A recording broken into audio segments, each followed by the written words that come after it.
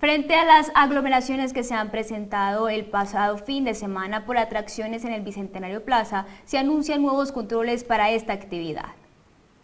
Hemos trabajado desde, el mismo día en que, se, que se presentaron.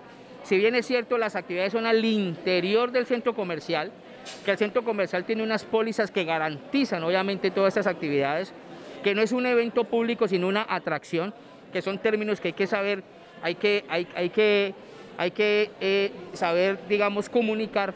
Aquí nosotros tenemos que hacer es un control en la parte externa. Por eso, desde el mismo día domingo, personalmente, con el doctor Jenner, con eh, eh, el administrador Gustavo Vázquez, hemos tomado las medidas preventivas, no solamente con los gestores de convivencia y de seguridad ciudadana, espacio público, sino también con la misma Policía Nacional. Estas aglomeraciones son producidas en su mayoría por jóvenes que asisten a estas atracciones. Reconocemos, ni más faltaba, que hay temas que por la conciencia, por la falta de conciencia colectiva, que son temas de la natura de los jóvenes, pues pueden, pueden generar lo que nos pasó el día sábado. Pero somos conscientes que inmediatamente nos corresponde no solamente dar la cara, sino trabajar conjuntamente y articuladamente para subsanar para solucionar y como siempre para priorizar la vida de todos los tulueños y de las tulueñas. Se recomienda mantener el distanciamiento y cumplir con los controles que se disponen desde la administración municipal